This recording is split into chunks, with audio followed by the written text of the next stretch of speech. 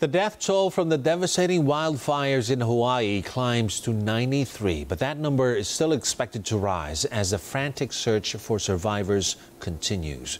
Lalaine Ignao with the full story.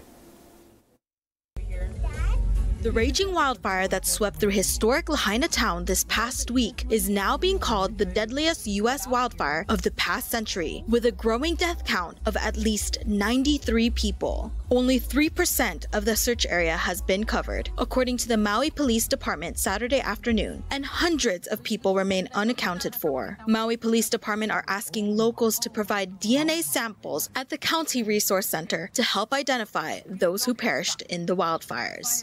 I keep I keep getting a visual of the uh, boards and boards of names on, in, in the shelters. You know, people looking for names, um, alphabetized names, and they're looking for all their relatives and that's just haunting, really haunting. The cost of damage is estimated to reach about $6 billion, with at least 2,700 buildings destroyed, 86% of them residential. According to the Federal Emergency Management Agency and the Pacific Disaster Center, about 4,500 people have been displaced from their homes. A third of the population in Lahaina are Filipinos. One Phil-Am who lost everything in the fire believes the situation could have been dealt with differently. Not once have I heard a siren, the alarm siren. They didn't notify us to evacuate. Our phones didn't go off to evacuate. Um, there was no cops rerouting us to like stop. Cops were literally passing us, like casually passing us, not telling us to turn around. Rabanal recalled people doing anything just to escape the fire. So you just see cars going on the streets, like people were banging buildings already. They did not care. They were banging buildings, driving on the side. We just booked it, you know? And at that point, it was just, it was time to pray. I mean, we were all crying. You see people, the people that were walking on the side, I mean, I saw bodies drop. I seen people jump into the waters. Access to Lahaina town continues to be blocked off, and residents have shared their frustration and having difficulty accessing their homes amid road closures and police checkpoints. We want information. We want to know um, we want to know where our loved ones are. We want to know where our friends are. And we want to know if they're safe, uh, if they're injured. Um, so I feel information will help us move forward and what to do.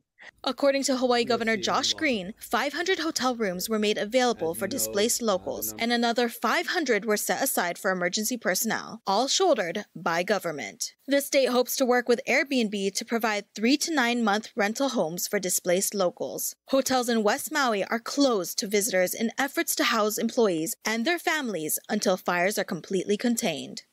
Lalaine Ignao, ABS-CBN News, Hawaii. The World Health Organization reports 1.5 million new cases of COVID 19 across the globe.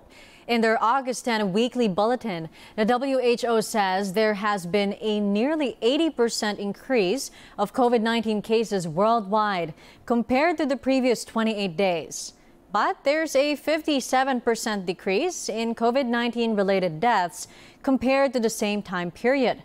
The WHO noted the new subvariant EG.5 has showed increased prevalence, but has no reported change in the disease severity. Taiwan's Vice President William Lai says the island will not back down in the face of authoritarian threats. In a visit to the U.S., Lai says the world is safe as long as Taiwan is safe.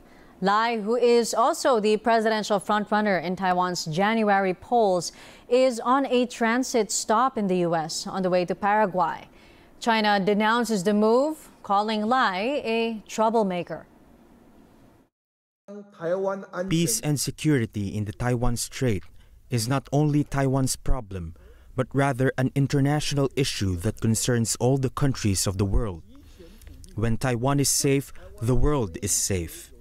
And when there is peace in the Taiwan Strait, there will be peace in the world. The South Korean and U.S. military set to stage joint exercises on August 21 to improve their response to North Korea's growing nuclear threats. According to South Korea's Joint Chiefs of Staff, this year's Freedom Guardian summer exercises will be the largest ever, with tens of thousands of troops from both countries participating.